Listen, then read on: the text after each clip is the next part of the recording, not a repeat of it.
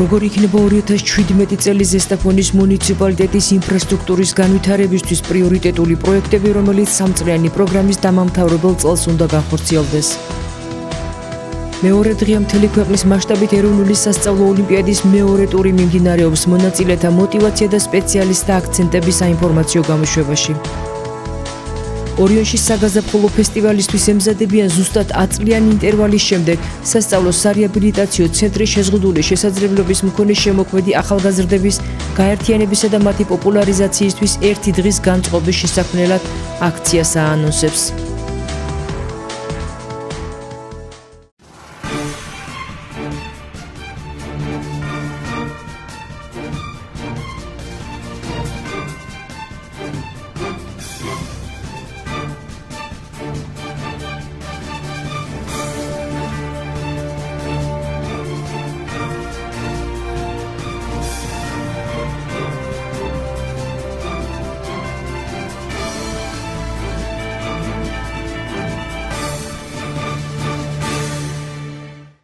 როგორ იქნება 2017 წელი ზესტაფონის მუნიციპალიტეტის ინფრასტრუქტურული განვითარებისთვის? გამომდინარე იქიდან, რომ არაერთი პროექტის განხორციელება იგეგმება, ადგილობრივი ხელისუფლების შესაბამის სტრუქტურაში მიმდინარე წელს მნიშვნელოვან ეტაპად მიიჩნევენ.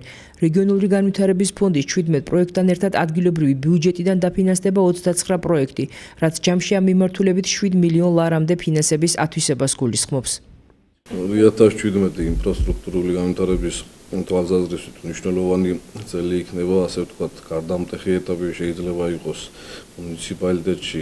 გზის მშენებლობების კუთხით, თითქმის ყველა ადმინისტრაციული ერთეულის ცენტრალების ასვლელი გზა დამთავრდება მივა ბოლომდე, რეაბილიტაცია ჩაუტარდება 13 სკოლამდელი გზის დაწესებულებას და ასე ვთქვათ, ძალიან მოცულობითი სამუშაო არის ჩვენ სამსახურში და ყველაფერი რა თქმა უნდა დამთავრდება ისე როგორც მუნიციპალიტეტის მოსახლეობას სურს. წელს უნდა დამთავრდეს ასე ვთქვათ ილმის სასოფლო გზის რეაბილიტაცია, არგვეთის სასოფლო გზის რეაბილიტაციის მეორე ეტაპი, რომელიც რეგიონალური განვითარების ფონდის მიერ ხორციელდება შორაპნის გაჩეჩილაძის ქუჩის ბეტონის საფარით დაფარვა უნდა მივიდეს ბოლომდე და უნდა დასრულდეს. და საქარაში ნინოშვილის ქუჩის ჩეხვა თვითონ მუნიციპალიტეტის ქალაქში ბატონიშვილის ქუჩას უნდა ჩაუტარდეს რეაბილიტაცია ჩხეიზის ქუჩა სამასი არაგველების გრიშაშვილის ქუჩა და არაერთი ქუჩა არის რომელიც დღეს დღეისობით არ არის კარგ მდგომარეობაში მაგრამ 2017 წლისთვის სრულად ვახდება მისი რეაბილიტაცია და მოსახლეობა ყვაყოფილი დარჩება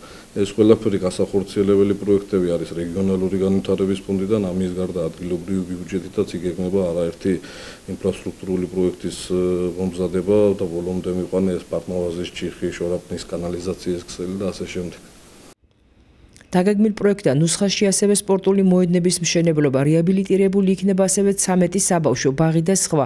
გაგრძელდება 2016 წლის გარდამავალი პროექტების სვირსა და როდინაულში. ოფიციალური ინფორმაციით აღნიშნული პროექტები მაისის თვეში უნდა დამთავრდეს. სადგურ სვირსა და მეორე სვირშორის დამაკავშირებელი საავტომობილო გზის მონაკვეთის საპროექტო ღირებულებით 2 მილიონ 885 ლარია. როდინაულის გზის გარდამავალი პროექტის ღირებულება კი 4 მილიონ 377 ლარი. მუნიციპალიტეტის საკრებულოს თავმჯდომარე კი მასშტაბურ პროექტებზე საუბრობს, რომლის განხორციელებაც მუნიციპალური განვითარების ფონდის მიერ იგეგმება ზესტაფონში. არის თავრობიდან შეპირება, მოკერდოთ მუნიციპალური განვითარების ფონდიდან, რომ დაიწყება საკმაოდ ძვირი 20 მილიონიანი პროექტი ზესტაფონში, რასაც ქვია ახალი საკანალიზაციო სისტემა, დარჩენილი ქალაქის დარჩენილი უბნების წყლით მომარაგების სისტემა. და სათავე გამწმენდი ნაგებობა, რომელიც იქნება ძალიან თანამედროვე, კერძოდ ბიო გამწმენდი სისტემა, ესე იქნება არა მექანიკური, არამედ ბიოლოგიურად გაიწმინდება წყალი, ну, პირდებიან იქნება ულტრათანამედროვე სისტემა. აღსანიშნავია, რომ 2017 წელი არის განვითარების სამწლიანი პროგრამის ბოლო დამამთავრებელი წელი, რომლის ფარგლებში ცესტაფონში არაერთი მნიშვნელოვანი ინფრასტრუქტურული პროექტი განხორციელდა.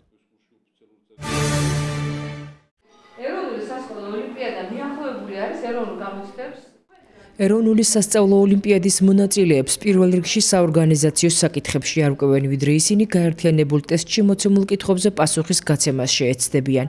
მეორე ტურის მონაწილეა აკაკი გაბრიჩიძეც, რომელსაც გეოგრაფიის გარდა კიდევ ხუთ საგანში აქვს ბარიერი გადალახული. დღესდღეობით ჩვენ გვაქვს ნამუსა გეოგრაფიაში, მე-11 მე-12 კლასების გაერთიანებული ტესტი. და მე მგონი ყველა მოსწავლე დაახლოებით 20 ჩვენი რაიონიდან მობილიზებულია იმისთვის რომ გადალახოს ეს ეტაპი და მოხდეს შემდეგ მესამე ტურში სადაც უკვე წარმოადგენს საკუთარ სკოლას, ქალაქს და ეცებო რომ მოკლედ ვთქვათ თავეწლება დატოვოს და აჩვენოს საკუთარი საუკეთესო შედეგი. ოლიმპიადაზე მოპოვებული წარმატება პედაგოგთათვის როგორც თავად ამბობენ სტიმული და მათი მუშაობის საზომია. ეს დაინტერესებული არა მარტო მოსწავლე ამით, არამედ ჩვენ თვითონაც პედაგოგებს ძალიან დიდი ინტერესი გვაქვს, რომ სახელმწიფო ოლიმპიადებზე ბავშვებმა წარმატებებს მიაღწიონ და შემდეგ ეტაპზე გადავიდნენ. ეს გამოწეულია, ეს ყველაფერი დღევანდელი მეორე ტურის შედეგები იმედია გაამართლებს, რადგან პირველი ტურიც ასე კომპიუტერული სისტემით ჩატარდა. ამიტომ ბარიერი საკმაოდ მაღალი იყო და ბევრი ვერ გადავიდა მეორე ტურში. ჩემიდან მაგალითად ერთი მოსწავლეა, მხოლოდ თუმცაღა მეც ველოდი, მაგრამ მხოლოდ ერთი გადავიდა აკაკი გაბრიჭიძე, რომლის იმედი მაქვს, რომ გამიმართლებს იმედებს და ზოგად ცოდნა, ზოგად განათლება შემსაგანში პირადად ძალიან დიდი მნიშვნელობა აქვს. ანუ შეიძლება რაღაცა კონკრეტული კითხვა არ იცოდეს მოსწავლე, მაგრამ ლოგიკურად მის სოფხედველობასთან დაკავშირებით ყველაფერი ისე იყოს, რომ შემდეგ ეტაპზე გადასვლა მოახერხოს. ეროვნული სასწავლო ოლიმპიადის ჩატარების მასპინძელი წინაწლების მსგავსად მეხუთე საჯარო სკოლაა. მის მიმდინარეობას გამოცდების ეროვნული ცენტრის მიერ შერჩეული პასუხისმგებელი პირი აგვირდება.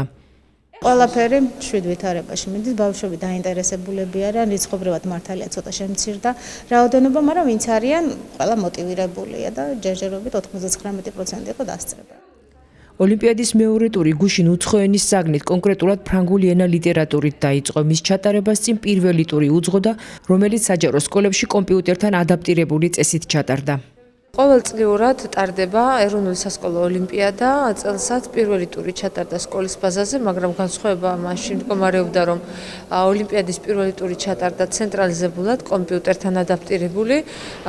საჯარო სკოლებიდან იყო დიდი აქტიურობა კონკურსში მონაწილეობის ოლიმპიადაში. აყავს მეორე ტურში გადასული მოსწავლეები, რომელსაც უკვე ეროვნული ცენტრი გეგმავს ქალაქ ზესტაფონის ნომერ მეხუთე საჯარო სკოლაში. ამჟამად მიმდინარეობს მეორე ტური და დაიწყო 8 იანვარს და დამთავრდება 12 იანვარს. დღეში არის ორი სესია სხვადასხვა საგნების მიხედვით.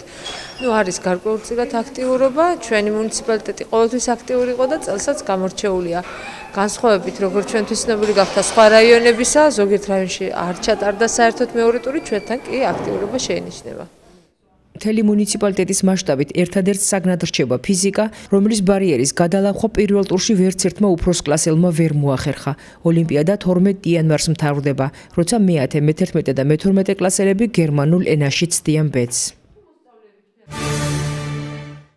ბავშვთა სარეაბილიტაციო ცენტრ ორიონში საგაზაფხულო ფესტივალის ჩატარებისთვის მზადებას იწყებენ, რომელიც ზუსტად 10 წლიანი ინტერვალის შემდეგ არა მარტო შეზღუდული შესაძლებლობის მქონე შემოქმედ ახალგაზრდებს გააერთიანებს. ცენტრის ხელმძღვანელი პროექტის სარეალიზაციო ხელშეწყობას ადგილობრივი თვითმმართველობისგან ელოდება. ჩვენ გვაქვს ამის გამოცდილება 2007 წელს პირველები ვიყავით რომლებმაც ეს ჩავატარეთ ეს ფესტივალი.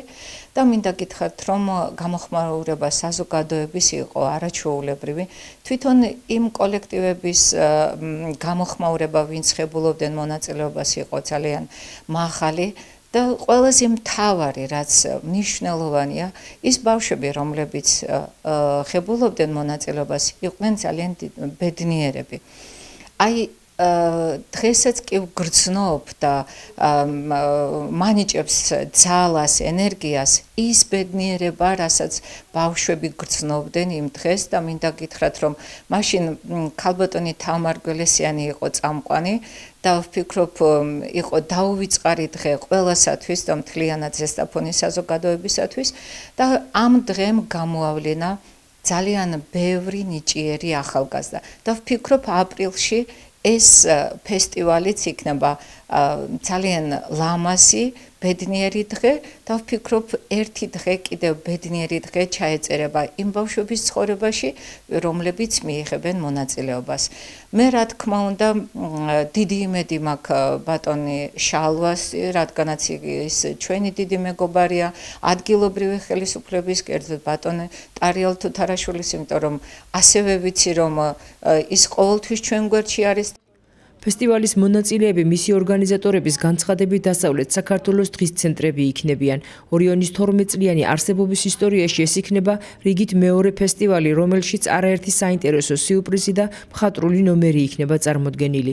მონაწილეთა შერჩევასა და ღონისძიების ფორმატზე მსჯელობა ჯერ კიდევ განხილვის პროცესშია.